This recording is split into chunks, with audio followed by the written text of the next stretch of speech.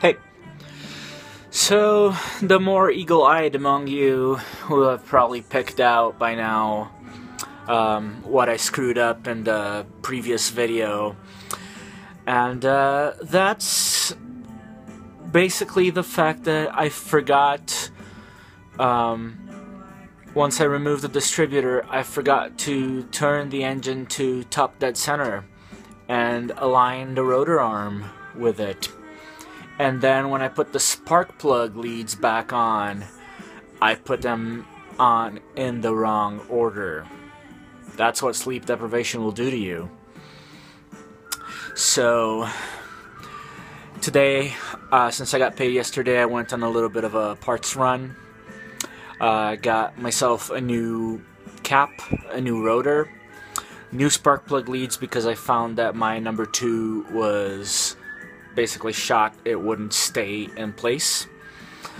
And so today what I'm gonna do is I'm gonna, you know, take the distributor back off, uh, replace the cap, replace the rotor arm, replace all my spark plug leads, Turn the engine to top dead center.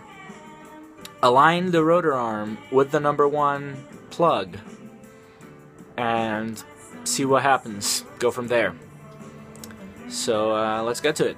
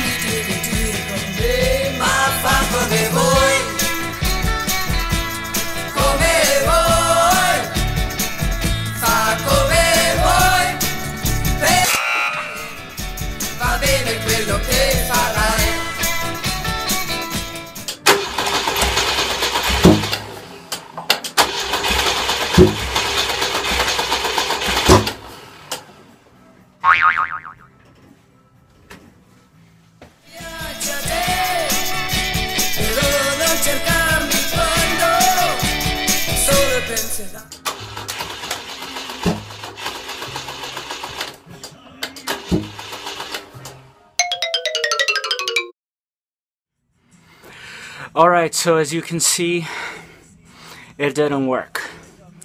So I am either really stupid or I got the wrong hot spark.